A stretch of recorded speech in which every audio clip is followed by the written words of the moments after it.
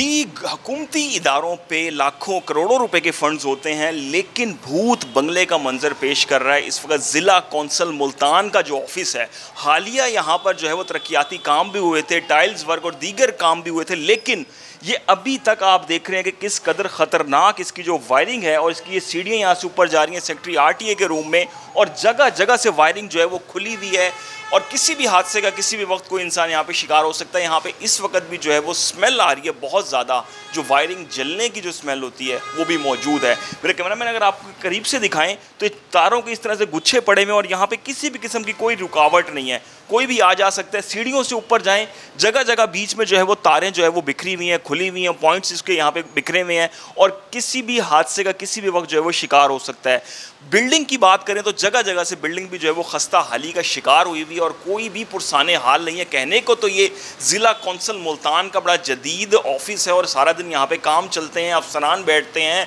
जो कारपोरेशन के सीईओ हैं वो बैठते हैं सेक्रेटरी आरटीए इस बिल्डिंग में बैठते हैं और दीगर अफसरान बैठते हैं। लेकिन जो बिजली की तारें हैं, इस तरह से जा बजा बिखरी हुई हैं और जो सूरत हाल है यहाँ पे, जो वायरिंग है, उसकी भी जो स्मेल है वो बहुत ज़्यादा यहाँ पर आ रही है, लेकिन इसकी कोई भी सूरत हाल दुरुस्त करने वाला यहाँ पर मौजूद नहीं है। इस हवाले से जब औकाम से हमारी बात हुई तो उनका ये कहना है कि जी फंड्स की कमी है और कुछ चीज़ों की कमी है, ये तमाम तर सूरत हाल के जो बहाने हैं, वो किए जा रहे हैं। लेकिन दूसरी जानब जो है वो तरक्याती काम भी बिल्डिंग में कुछ हुए हैं, लेकिन उसके साथ जो अहम ज़रूरी काम है, वो बिल्कुल भी नज़र नहीं आ रहे और जगह जगह से बिल्डिंग दोबारा खस्ता हाली का शिकार दिखाई दे रही है। जी।